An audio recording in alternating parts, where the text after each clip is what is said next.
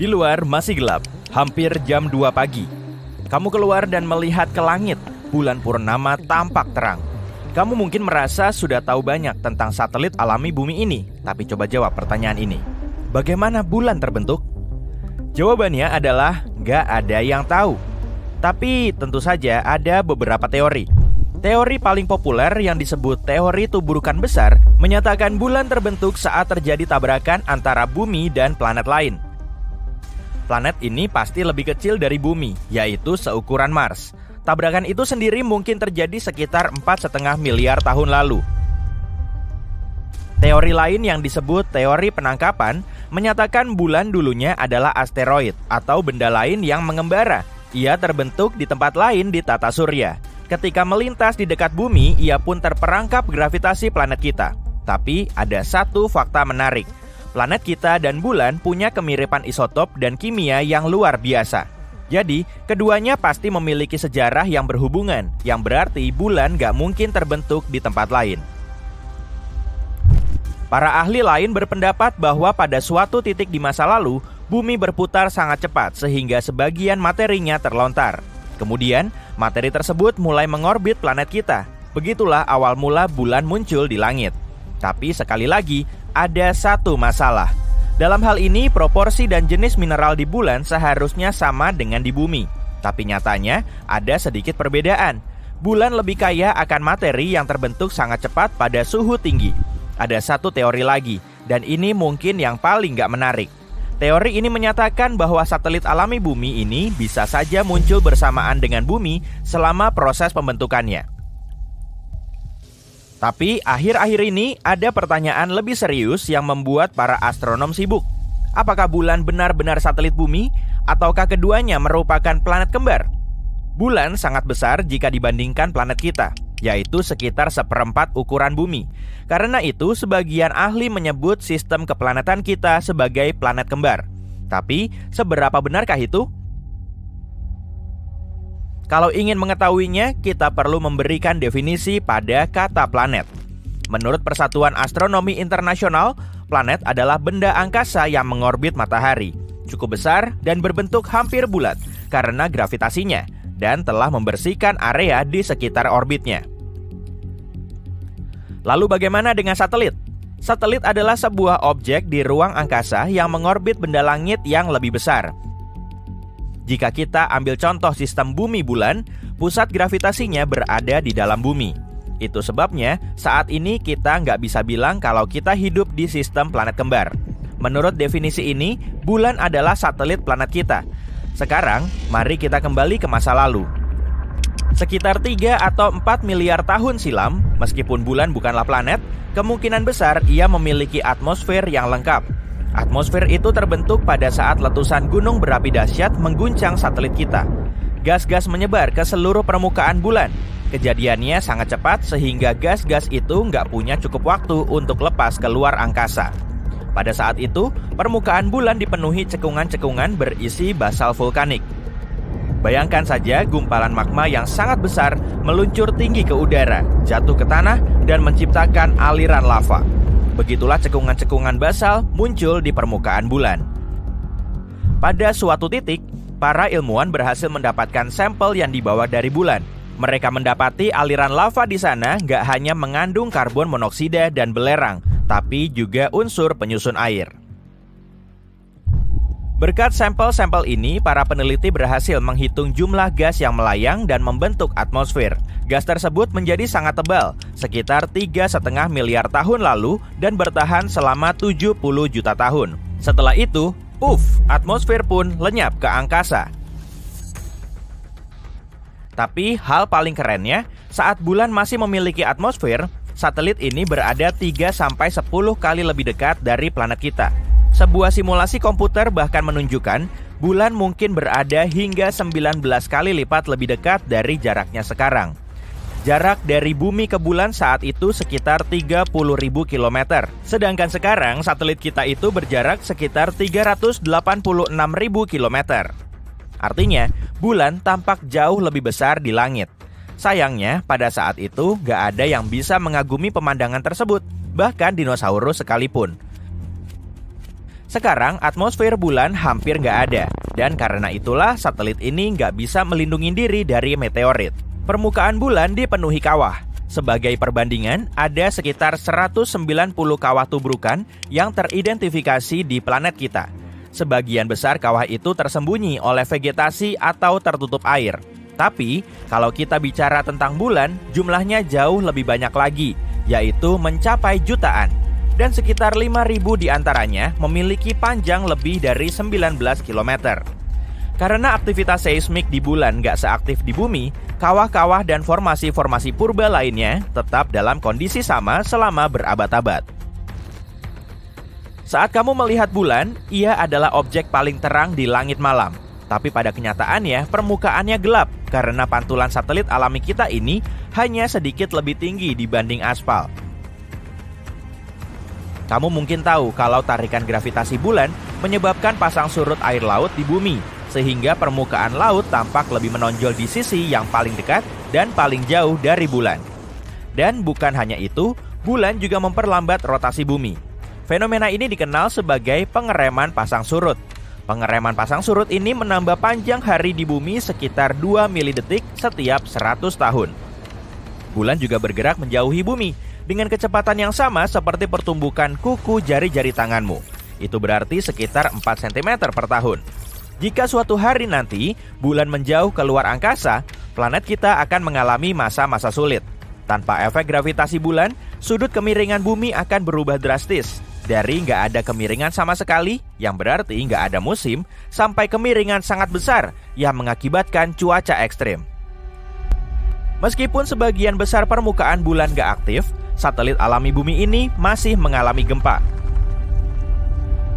Satu teori menyatakan bahwa gempa bulan terjadi karena bulan mengalami penyusutan akibat pendinginan pada intinya.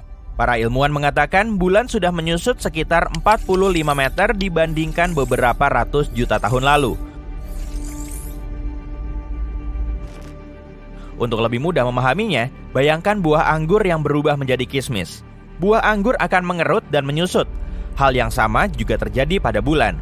Ia menyusut dan mengerut, tapi gak seperti anggur. Bulan gak memiliki kulit yang lentur. Permukaannya keras dan rapuh. Jadi, seiring ukurannya mengecil, kerak bulan akan retak dan pecah. Lalu potongan-potongannya terdorong ke bagian yang lain. Mau tahu hal keren lainnya tentang bulan? Sebuah penelitian terbaru mengatakan bahwa bulan memiliki ekor. Dan setiap bulannya, ekor itu melingkari planet kita seperti shell. Ekor ramping ini terdiri dari jutaan atom natrium, dan planet kita secara teratur melintas melaluinya. Hantaman meteor melontarkan atom-atom natrium ini keluar dari permukaan bulan dan lebih jauh ke angkasa. Selama beberapa hari setiap bulan, bulan berada di antara matahari dan planet kita. Saat itulah gravitasi bumi menarik ekor natrium itu planet kita menyeretnya menjadi sebuah garis panjang yang melingkari atmosfer. Ekor bulan ini sama sekali nggak berbahaya. Ekor ini juga nggak terlihat oleh mata manusia. Kira-kira 50 kali lebih redup dari yang bisa dilihat oleh mata kita. Tapi, sesekali teleskop super canggih bisa menangkap cahaya kekuningan yang redup di langit. Ekornya tampak seperti titik berkilauan yang berdiameter 5 kali diameter bulan. Dan fakta paling menariknya adalah dua atau tiga tahun lalu, sebuah asteroid tertarik masuk ke orbit bumi dan mulai mengitari planet kita. Bulan, satelit alami bumi nan cantik dengan bercak gelap misteriusnya. Kita selalu melihat bulan dari salah satu sisinya, dan sudah terbiasa dengan bentuk yang sama. Jadi, sulit dibayangin kalau bentuknya berlainan. Tapi dulu, bentuk bulan gak begitu, malahan sangat berlainan. Bayangin, ada satelit besar bercahaya terang di atas langit yang memicu tsunami panjang. Nah, biar lebih jelas, kita balik ke masa lalu yuk. Nanti kita akan ngeliat tampilan bulan dalam versi jadul. Bulan terbentuk sekitar 4,5 miliar tahun yang lalu. Kala itu, planet biru kehijauan kita masih berupa bongkahan batu merah membara yang melayang tak tentu arah di ruang angkasa. Kita masih belum punya bulan, dan satu hari di bumi cuma berlangsung selama 6 jam jadi siang harinya cuma selama 3 jam. Banyak gunung berapi meletus secara bersamaan, memuntahkan gas beracun ke angkasa. Meteorit terus-terusan menghujani bumi. dan di saat yang bersamaan terjadi big splash atau dalam istilah ilmiahnya disebut hipotesis tubrukan besar. Jadi menurut hipotesis ini, ada objek sebesar Mars yang jatuh ke bumi. Sedangkan ukuran Mars cuma setengah kalinya planet kita. Jadi benturan ini nggak terlalu parah, tapi cukup destruktif. Benturan kuat ini mampu merobek lapisan luar objek tersebut dan juga bumi. Kemudian, intinya menyatu dengan inti bumi yang padat. Banyak sekali pecahan bumi yang berhamburan ke ruang angkasa. Jadi beginilah proses awal pembentukan bulan yang menurut sains dikenal dengan istilah proses diferensiasi telah dimulai. Proses ini terjadi pada semua planet di awal pembentukannya, karena benturan itu sangat panas, kebanyakan gas dan cairan dari pecahan bumi ikut terbawa, sehingga cuma menyisakan permukaan batu yang relatif kering. Di bulan memang ada air dan gas, tapi jumlahnya sangat sedikit. Gravitasi bumi yang cukup kuat mampu menahan pecahan batu panas ini di orbitnya, dan lama-kelamaan semua pecahan tadi saling menyatu. Bahan kimia yang terkandung di dalam batuan kemudian menyebar ke berbagai lapisan. Besi yang lebih berat tenggelam ke bagian dasar, sedangkan unsur yang lebih ringan membentuk bagian permukaan. Dalam waktu 100 tahunan, cincin uap, debu, dan lelehan batu juga menyatu. Gugusan terbesar dengan gravitasi terkuat menarik banyak partikel lain dan lambat laun menghasilkan bulan. Bentuknya mirip bola gelembung merah yang panas membara. Tapi ternyata inti bulan yang masih baru lahir ini sangatlah kecil – Bahkan di dalamnya cuma ada sedikit besi dan unsur berat lain yang sangat diperlukan untuk menghasilkan objek seperti planet. Batuan tertua di bulan mungkin telah terbentuk di lautan magma. Setelah suhunya berangsur dingin, ia berubah jadi bola halus berwarna putih, tapi bentuknya masih beda jauh dari yang sekarang. Beberapa saat setelah terbentuk, bulan cuma berjarak 21.700 km dari bumi Berarti 15 kali lebih dekat dari jarak saat ini, yaitu sekitar 383.000 km. Pasti ngeri banget ya ngeliatin bulan yang lebih gede dan terang kayak gitu. Mungkin kelihatan bagus, tapi tetap nyeremin.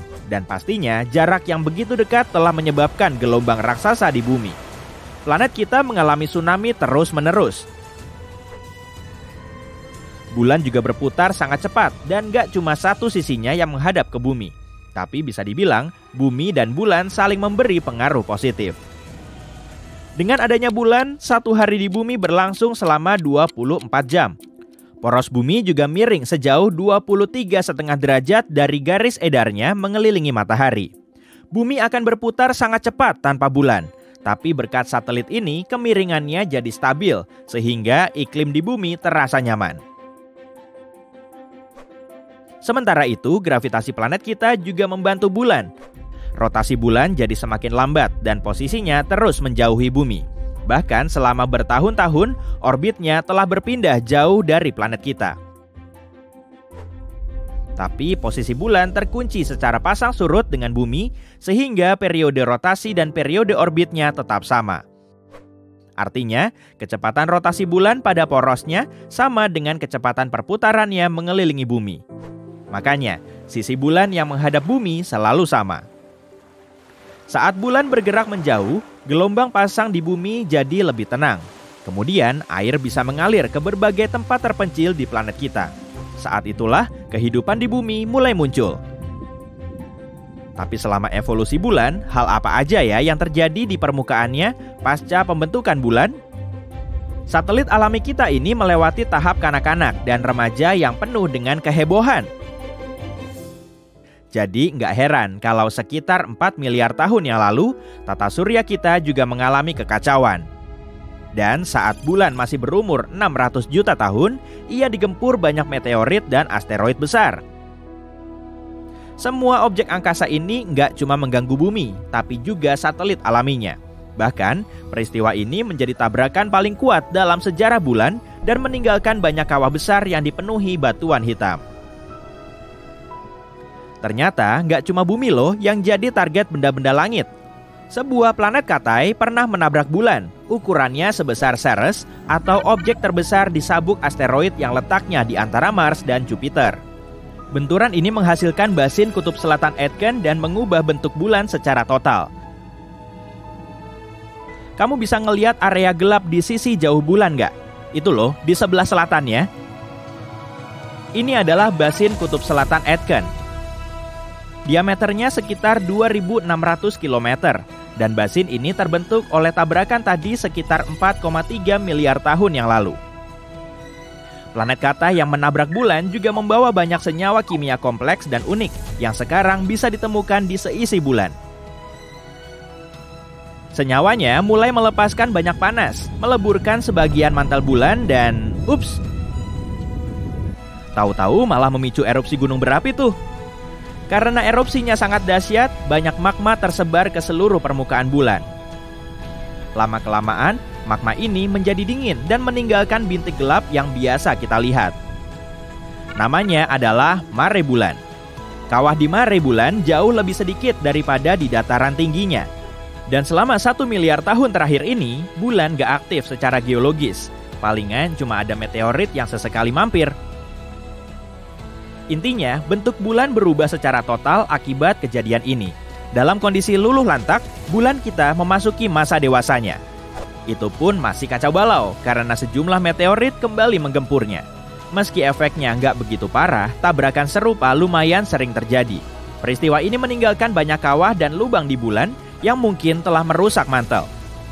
Sebagian tabrakan membuat kawah besar yang sudah ada semakin dalam. Kerak bulan juga terus menipis. Bagian atas kerak bulan yang dipenuhi kawah ini kemudian dijuluki sebagai dataran tinggi bulan. Oh, area yang berwarna putih terang itu ya? Dataran tingginya. Tapi akhirnya alam semesta semakin tenang dan rupa bulan kelihatan seperti sekarang. Masih ada banyak hal yang belum kita ketahui tentang satelit alami bumi ini. Para saintis juga belum bisa ngejelasin sebagian momen dalam sejarah secara akurat. Tapi mereka terus melakukan penelitian. Informasi tentang bulan gak cuma berguna untuk nyari tahu soal bulan, tapi juga bisa ngasih gambaran yang lebih lengkap tentang sejarah tata surya dan seluruh ruang angkasa. Semoga suatu saat nanti kita bisa menyingkap semua misterinya. Hei para penyangga mitos, hari ini kita akan menyanggah beberapa mitos ruang angkasa klasik naiklah ke pesawat pulang alik berikutnya dan mari kita bahas dongeng-dongeng ini. Bayangkan kamu melayang di luar angkasa, menyeruput secangkir coklat panas yang lezat. Saat pikiran aneh muncul di kepalamu, bisa nggak sih kamu berteriak di luar angkasa? Dan kalau bisa, apa ada yang akan mendengar teriakan itu? Kalau kamu pernah menonton film Alien, maka kamu tahu jawabannya. Kamu tidak bisa mendengar suara di luar angkasa bukan berarti suara tidak ada. Cuman kamu nggak bisa dengar aja. Tidak ada orang lain yang lebih baik untuk mengklarifikasi mitos ini daripada Chris Hadfield. Dia telah melakukan beberapa kali perjalanan luar angkasa selama hidupnya sebagai astronot. Dan begitu berada dalam kegelapan ruang angkasa, kamu tidak bisa mendengar apa pun. Yang kamu dengar hanyalah keheningan, keheningan total. Tapi, di kejauhan kan ada bola ledakan besar alias matahari kita tidak bisa mendengar ledakan yang terjadi karena tidak ada medium yang bisa dilalui suara. Akan sangat tidak nyaman bagi seorang astronot jika mereka bisa mendengar semua suara yang terjadi di luar angkasa. Sekarang, bayangkan kamu lagi melesat di angkasa seperti pahlawan super futuristik ketika bintang jatuh melintas di sisimu. Tapi tunggu dulu, apa itu benar-benar bintang? Sayangnya, bintang jatuh sama sekali bukan bintang Bintang jatuh adalah batuan ruang angkasa kecil yang dikenal sebagai meteorit yang memasuki atmosfer bumi dan menciptakan pertunjukan cahaya yang menakjubkan. Oh, dan karena kita lagi menyanggah mitos, mari kita lanjutkan ke mitos lainnya. Kamu mungkin pernah dengar kalau meteor hanya menabrak bumi dalam kesempatan yang sangat langka, seperti saat kiamat yang memusnahkan dinosaurus itu. Itu tidak benar para ilmuwan memperkirakan bahwa sekitar 48 ton bahan meteorit jatuh ke bumi setiap hari. Tapi hampir semua materi ini menguap di atmosfer bumi. Jejak terang yang kita lihat di langit malam itulah yang kita kenal sebagai bintang jatuh. Nah, lain kali kalau kamu mau membuat harapan pada bintang jatuh, ingatlah bahwa kamu sebenarnya berharap pada sepotong kecil puing-puing angkasa. Sama sekali nggak romantis sih. Bisa nggak sih kita terbang menuju stratosfer naik balon udara? Ternyata bisa loh. Stratosfer bumi itu relatif dekat dengan tanah, sekitar 11 atau 12 km dari permukaan bumi. Tapi lapisan ini terus berlanjut jauh ke atas. Kalau kamu terbang ke stratosfer dengan balon udara tertentu, pastikan kamu membawa peralatan yang sangat bagus. Kamu akan membutuhkan pakaian khusus dan beberapa alat bantu pernapasan, karena udara mulai menipis begitu kamu terbang semakin tinggi. Tentu saja, kalau naik ke atas, kamu bisa mendapatkan gambar kelengkungan bumi. Jadi, kamu harus bawa semacam harness dada buat tempat kamera atau semacamnya. Dan kenapa nggak sekalian live streaming aja? Pasti ditonton seluruh dunia. Bayangkan, sudah 102 hari sejak kamu meninggalkan bumi. Kamu sudah beradaptasi dengan kehidupan di luar angkasa. Tapi, ada sesuatu yang aneh terjadi pada tubuhmu. Kamu bertambah tinggi. Kok bisa ya? Tenang, itu normal kok. Kenyataannya, kamu tidak bertambah tinggi. Inilah yang terjadi pada tubuh saat tidak terpengaruh gravitasi. Ada ruang alami antara tulang belakang dan sendi di dalam tubuh kita. Di bumi, ruang ini hampir sepenuhnya terhimpit karena gaya gravitasi. Tapi di luar angkasa, tubuhmu istirahat dari gaya dorong gravitasi dan mulai merenggang. Jadi ya, astronot bisa tumbuh hingga 3% lebih tinggi saat berada dalam misi yang panjang. Dan menariknya, NASA sudah mengetahui hal ini ketika mereka membuat pakaian luar angkasa. Dengan begini, para astronot akan selalu memiliki ruang ekstra dalam pakaian mereka. Begitu astronot kembali ke bumi, efek anti-gravitasi akan hilang. Jadi, mungkin mereka akan merasa celananya cingkrang dulu beberapa hari sebelum celananya itu pas di tubuh mereka lagi. Gak pernah kebayang ada pintu pesawat yang terbuka di tengah penerbangan dan sekumpulan penumpang tersedot ke atmosfer seperti bulu-bulu yang berterbangan. Aku yakin sebagian besar dari kita pasti pernah membayangkan hal yang sama saat berada di dalam pesawat. Nah, bayangkan kalau hal ini terjadi di luar angkasa. Pengetahuan umum mengatakan bahwa jika seorang astronot tersedot keluar dari airlock, orang tersebut akan terbakar sampai gosong. Bersiaplah, karena hal ini tidak hanya benar, tapi kenyataannya jauh lebih buruk.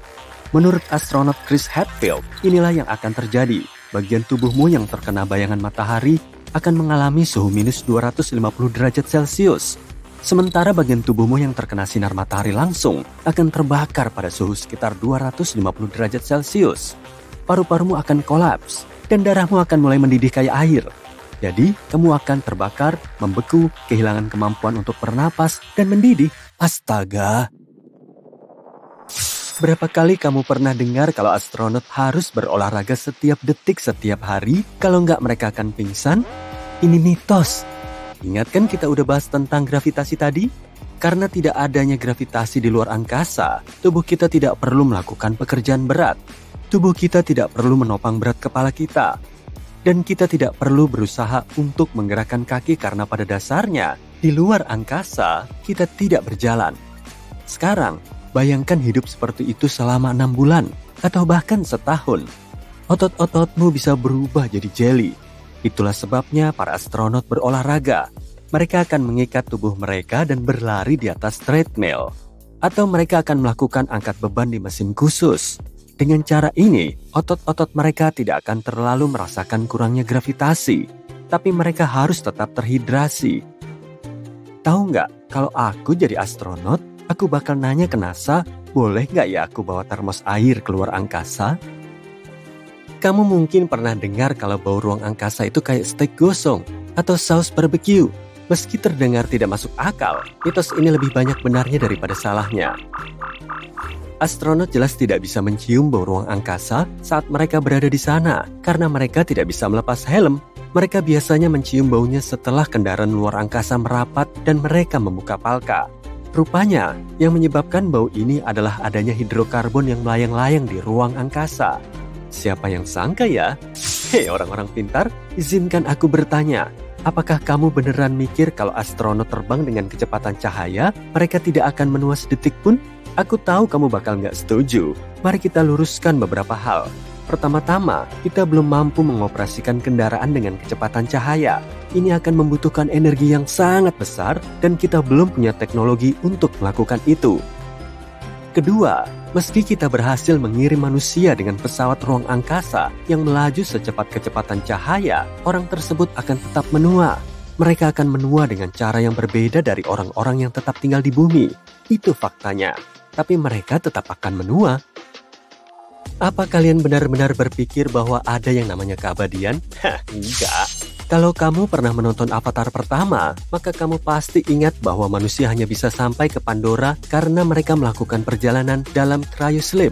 Dengan kata lain, mereka membekukan tubuh mereka, menaruhnya di tempat tidur cryosleep, dan melakukan perjalanan selama bertahun-tahun tanpa menua.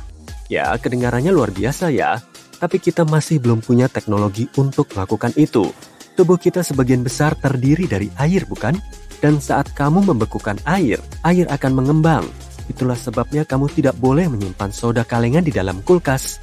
Saat ini, kalau kita membekukan tubuh seseorang, air di dalamnya akan mengembang. Itu akan membahayakan jaringan dan organ tubuh. Jadi, kita tidak bisa melakukan cryosleep untuk melakukan perjalanan